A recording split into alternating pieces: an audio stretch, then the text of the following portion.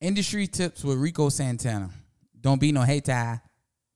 I am Rico Santana, aka the Heart of Virginia, aka the biggest, a bad motherfucker, the alien, the Mister Out of This World. Um, we taking over the world. We the greatest artists in the world. We the greatest producers in the world.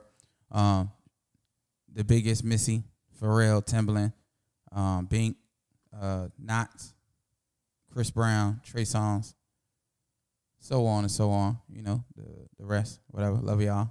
Shout out to Coco, I love you. Um, Drum, Big Will, you know, fuck with y'all. And shout out to the motherfucking greatest CEO, the motherfucking greatest executive. Shout out Academy Records. Shout out to the motherfucker, the one and only Corte Ellis, my big brother, my motherfucking ace, my motherfucking my everything, man. Love you, bro. Thank you for saving my life. Thank you for believing in me. This is a motherfucker. Listen, this motherfucker discovered me. None of y'all discovered me. This man believed in me. He been patient with me from day one when I had the studio above the church on High Street, above across the street from Roger Brown's uh, at Holy Temple. He came up there. He was listening, and he said, "That ain't it. Keep working." And he never gave up on me. He kept, he kept answering the phone. He kept giving me advice, and now we here. And I'm one of the shit. One of the greatest. I'm a bad motherfucker. He knew it. He seen it immediately. He just molded me. He was patient with me. He never gave up on me.